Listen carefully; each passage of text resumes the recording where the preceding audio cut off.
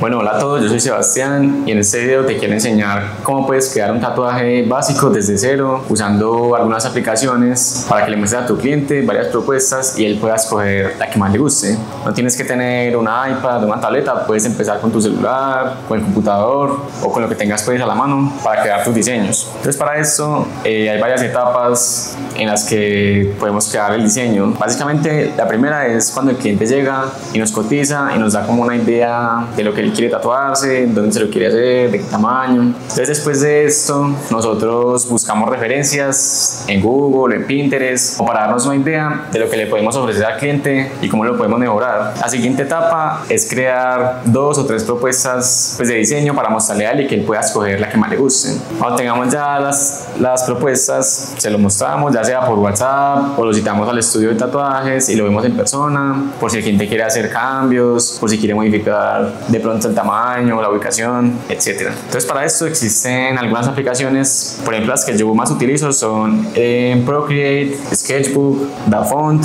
y Pinterest. Digamos que en Pinterest es donde yo busco las imágenes o las, pues, las referencias que voy a usar en el diseño. También puedes usar, pues buscar en Google o usar páginas con inteligencia artificial que ya nos crean las imágenes pues predeterminadas. Bueno, entonces a la hora de crear el diseño existen dos aplicaciones básicas que son las que más usamos los tatuadores. Por un lado tenemos Procreate y por el otro tenemos Sketchbook. Entonces si te vienes al buscador de la App Store o de Google Play, colocas Procreate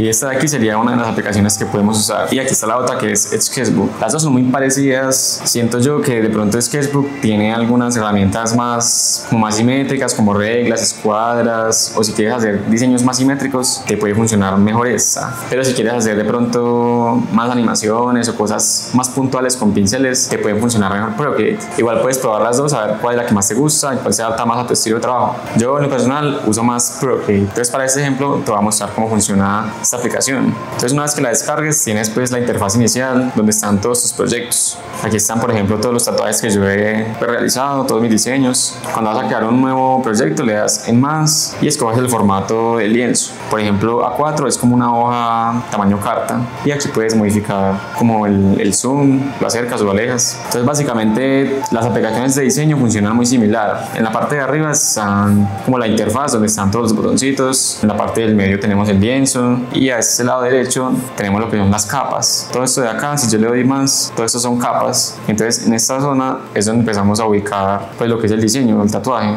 Bueno, una vez hayas entendido cómo funciona la interfaz de Procreate, vamos a empezar a agregar los elementos para crear el diseño. Entonces lo primero que tienes que agregar o tener sería pues la foto del brazo o la pierna o la zona donde nuestro cliente se quiere hacer el tatuaje. Entonces una foto digamos del brazo. Luego tienes que tener referencias del tatuaje que se quiere realizar. Por ejemplo, en este caso mi cliente se quiere hacer una brújula en el antebrazo. Entonces voy a ir a buscar referencias en Pinterest de brújulas.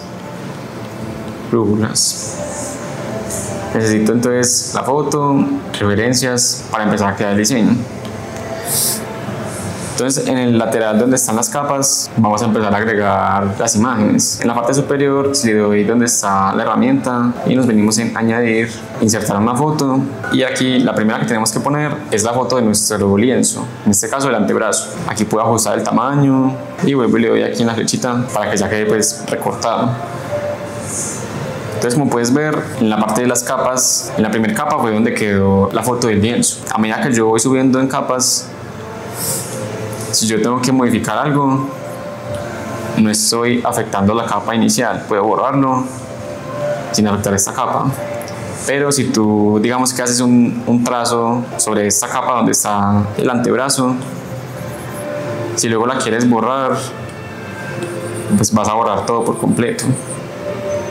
Entonces, por eso es bueno ir trabajando por capas, por si tienes que devolverte o ajustar algo, pues simplemente borras la capa que estabas haciendo sin perjudicar las capas anteriores. Bueno, ahora lo siguiente es que vayamos a buscar referencias en Pinterest. En este caso, si nos venimos al buscador, buscamos por ejemplo brújula tatu y nos aparecen diferentes referencias, fotos, tatuajes o imágenes ya recortadas. Te recomiendo de pronto que no busques una foto muy oscura porque es más difícil de recortar o de organizar. Entonces, por ejemplo, una foto así nos puede servir porque tiene un fondo blanco. Entonces la descargamos. De pronto, por ejemplo, esta foto tan oscura es un poquito más difícil de organizar.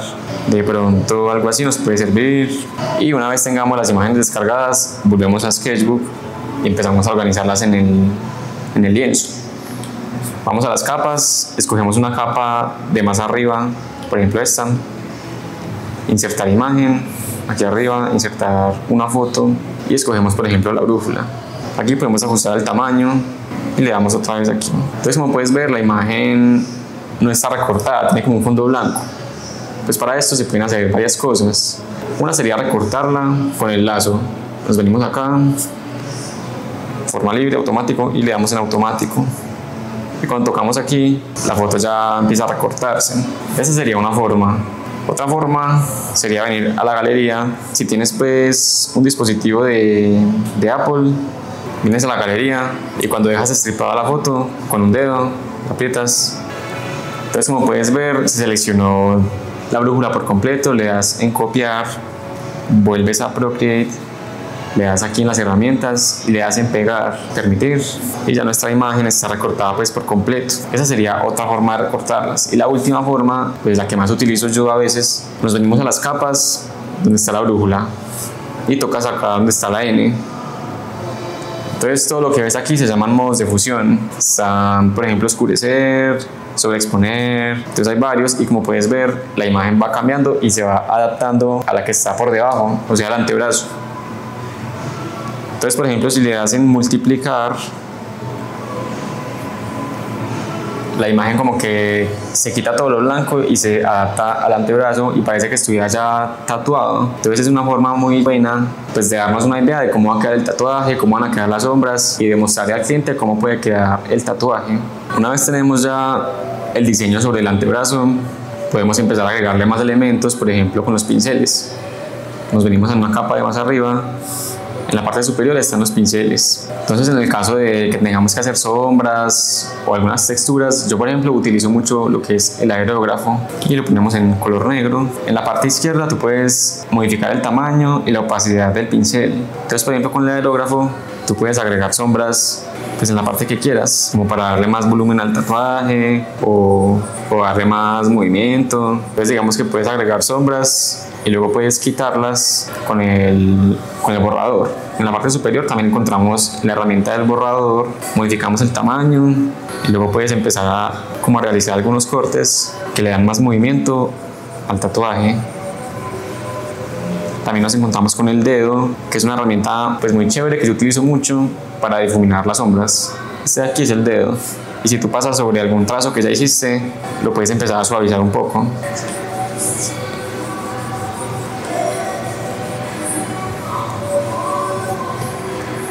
Eso sería como básicamente lo primero que tienes que hacer cuando montas el diseño. Ahora quiero mostrarte si de pronto nuestro cliente quiere tatuarse una caligrafía o una frase. Entonces en este caso vendríamos al buscador y hay varias páginas web que nos pueden ayudar a descargar pues, lo que son caligrafías. Por ejemplo, DaFont.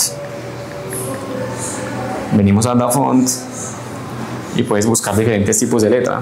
Como puedes ver, aquí aparecen diferentes tipografías. Y en la parte de arriba aparecen los estilos que hay. Las que más utilizan, por ejemplo, nos tenemos a caligrafía, serían todas las tipos de letras que son cursivas y en el buscador tú pones la palabra que se quiere tatuar el cliente, por ejemplo, familia, y le hacen enviar. Entonces aquí en la parte de abajo te van a aparecer diferentes tipos de letra y ya pues tú le muestras al cliente cuál le gusta más o entre los dos cuál te parece a ti que, que se ve mejor en el tatuaje entonces digamos que nos gustó esta. Le puedes tomar un pantallazo, volvemos a Procreate y vamos a insertar en una capa de más arriba, vamos a insertar esta imagen, la escogemos y con el borrador vamos a quitar lo que no nos sirve. Por ejemplo, esto se puede borrar, esto también. Y ahora el exceso de blanco que nos queda lo vamos a quitar en las capas. Volvemos a la capa donde está la caligrafía, le damos en la N escogemos multiplicar. Entonces como puedes ver, todo lo que teníamos en el fondo ya se borró. Modificamos el tamaño y lo ajustamos en la posición que nos parezca pues más favorable. Ahora quiero mostrarte algo muy importante a la hora de hacer un diseño de un tatuaje pues grande, ya sea en realismo o en neotradi, en un estilo pues que abarque gran parte del cuerpo. Como puedes ver, los tatuajes pueden tener direcciones según la posición del cuerpo y según la posición de los músculos. Por ejemplo, si la persona está parada pues de frente, esto nos indica que los músculos están apuntando hacia adelante. Entonces, si yo voy a ubicar un tatuaje en esta zona del brazo, digamos que no puedo colocar un rostro que esté mirando al lado contrario porque se va a ver muy raro. Siempre tengo que estar pues, pendiente de la dirección de los músculos, por ejemplo, del tríceps, del hombro, o en este caso, por ejemplo, la persona está de frente y la parte interna del brazo nos indica que el músculo apunta hacia afuera. Si nosotros ubicamos el diseño en esta dirección, se va a ver un poquito más armónico, más anatómico y va a envolver el cuerpo de una forma más bonita. También existen pues partes del cuerpo que son más planas, donde no importa si el diseño está mirando de frente o de lado, igual se va a ver bien. Por ejemplo, en el pecho, pues es una zona plana donde el diseño puede estar en varias direcciones y se va a ver bien. O también puede estar de frente y se va a ver mucho mejor. También la espalda es como una zona pues plana donde podemos ubicar un diseño de frente y se va a ver perfectamente. Pero básicamente los laterales, lo que son las piernas, los brazos o la parte interna de la pierna, ahí es donde debemos tener cuidado y ubicar el, ya sean rostros, animales o algo más anatómico que esté mirando en dirección al músculo. Entonces te voy a mostrar algunos ejemplos de los que yo he hecho pues con mis tatuajes. Por ejemplo, en este caso, pues es un diseño de un brazo completo, de la parte externa y casi todos mis elementos están apuntando pues en dirección al músculo casi todos están apuntando hacia adelante o sea en esta dirección si yo digamos ubica, ubico el ángel en la posición contraria te voy a mostrar si lo pongo en la parte contraria hacia atrás cuando la persona esté pues caminando y esté de frente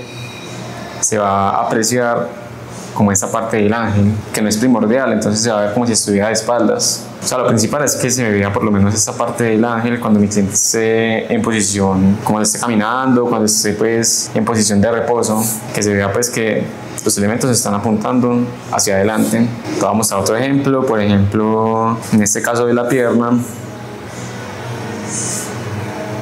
la gente está parada en posición de reposo y los elementos están apuntando en la dirección del músculo, o sea, hacia adelante. El rostro, la escultura, todo está apuntando en esta dirección. Si nosotros ubicamos el diseño apuntando hacia atrás, se va a ver muy raro, se va a ver, no se va a ver armónico, no se va a poder apreciar bien el diseño. Entonces para esto también hay algunos ejercicios que te pueden funcionar. Por ejemplo, si te vienes a Pinterest vas a buscar brazos eh, hombre, por ejemplo, y vas a descargar esas fotos. Por ejemplo, esta foto nos puede servir. O esta. Y volvemos a Procreate.